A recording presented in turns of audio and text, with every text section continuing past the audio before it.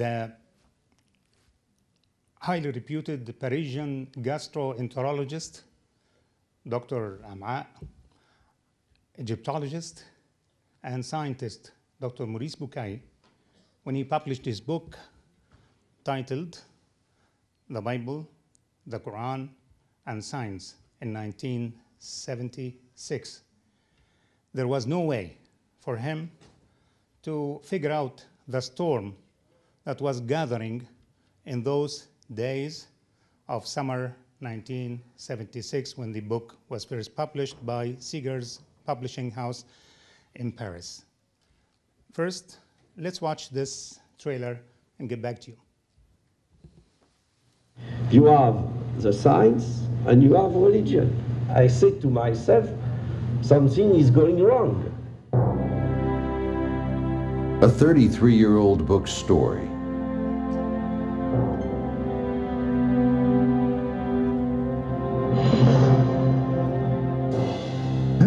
الكتاب أثر غضبا شديدا. هذا أعطاني فرصة لمعرفة فكر موريس بوكاي أكثر. وجد أن القرآن ليست فيه ثمة شائبة فيما يتعلق بالعلم الحديث. ردة فعل المسلمين وترحابهم الكبير بكتاب الدكتور بيكاي لها كذلك علاقة بنقد الجمهور الفرنسي الكاثوليكي له. وقعت قطيعة بين موسبيكاي ووسطه. 1300 آية تتكلم عن العلم والعلماء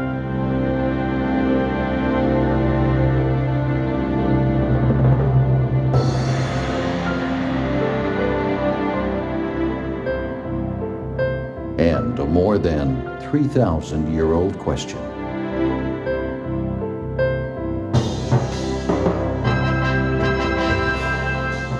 Who is Moses Pharaoh?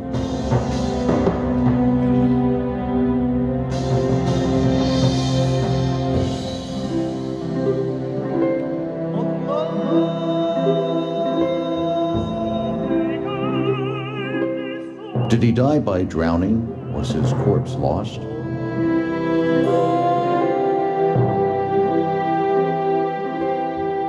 If rescued, where is it now?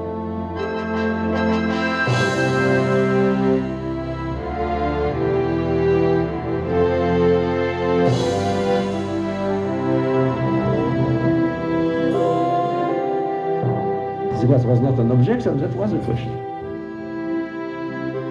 Maurice and the Pharaoh.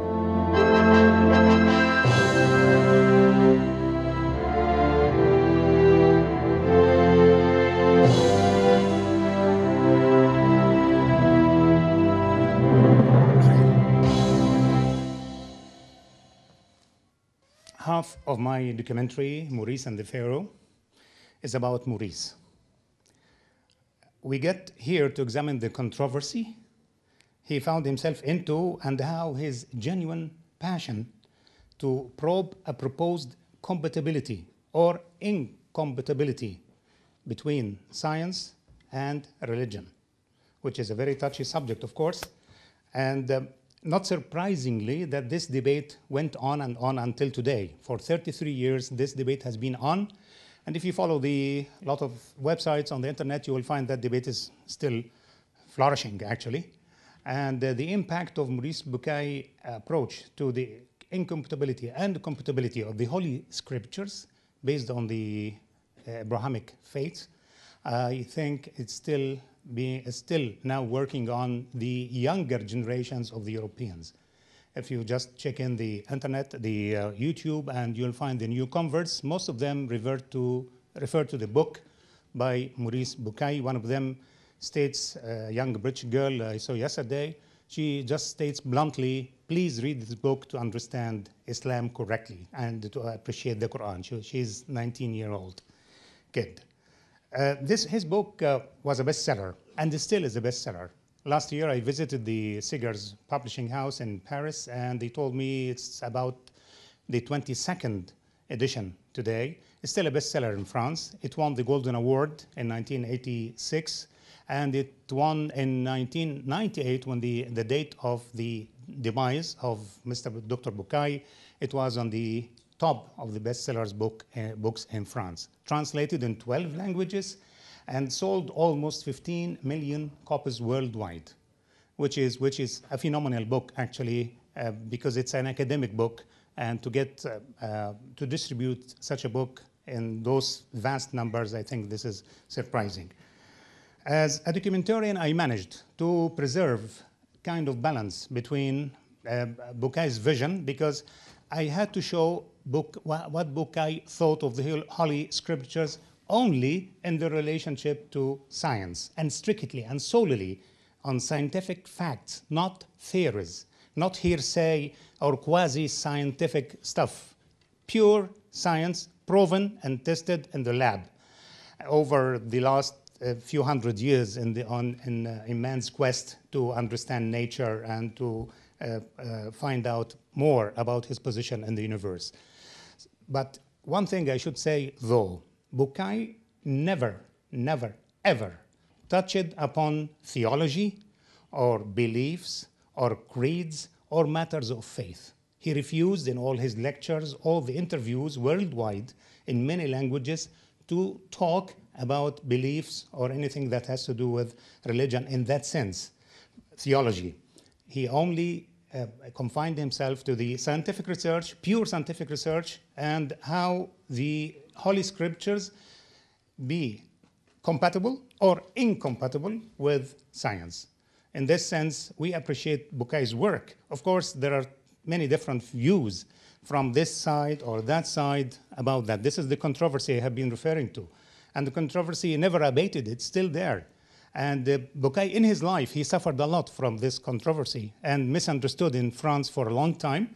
But uh, as you see in the film, you will see in the film, inshallah, that I, I, had, I succeeded interviewing one very close friend of his uh, and also another collaborator, Dr. Mah- Professor Muhammad Talbi, who worked on a book with him entitled Reflections on the Quran, published in French in 1989. Both of them worked on that book, and I managed to see him and uh, to interview him in Tunisia, as well as in Paris. I met uh, Père, our father, Michel Lelong, who is the head of the Christian Islamic Understanding Committee, which is the highest committee in France uh, of interfaith dialogue, for interfaith dialogue. And he gave me one copy of, of his latest book about this subject. And he was very candid about Bucaille too. So the most important thing is that the film preserves this, this balance. I introduce this, and introduce that, and I leave everything to the audience to judge for themselves. The other half of the film is basically the story of the quest being an Egyptologist, uh, Bucaille himself, and he had a great chance uh, in Egypt in between the years 1974, 1976, and he was very fluent in Arabic because he studied Arabic since 1970 for three years at the University of Paris, and he could read the Quran in Arabic. And he read the Quran mainly in order to understand the, in his quest to understand the Holy Scriptures. So the Bible, Torah, uh, and, and the Quran are there in his life for a very long time. But of course, he started, when he learned Arabic, he started to understand correctly the Quran, as he said, as we'll see. So he, he wanted to answer that question during those two years in Egypt, and he had the doors all open for him to help him to find out who, or to identify the Pharaoh of the Exodus. Uh, one last thing, la- last two things. The first thing is please turn off the mobiles or turn them to the silent mode because they are quite irritating, as you understand, when the film is on. The other thing is uh, we'll stay until the very end of the credits in order because I promised the composer that I will convince the audience to stay to be a little bit patient for two the film is over and uh, to enjoy the credits and also to see the input, how much input were put in these two films that took us about two years to finish. Thank you very much. And there will be a book, inshallah, that we'll advertise. It's, it's entitled Maurice and the Quran. It's, about, it's based on the story of Maurice and the, how he understood the Quran, and also based on the story of the films, and has unique stuff that has never been published before.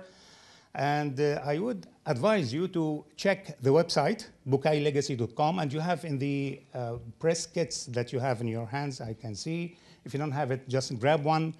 On the way out and uh, check them for more information if you need more information. The ones who didn't see the film that we screened last week from microcosm to macrocosm, which is number two, they will be surprised to find here in the film one because this should have been shown before the other one, but for technical reasons whatsoever, we, we couldn't do that. But uh, the films are complementing each other, yet, yet they are separate.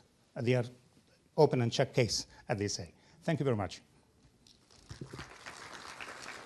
Egyptologist and scientist Dr. Maurice Bucaille, when he published his book titled The Bible, the Quran, and Science in 19.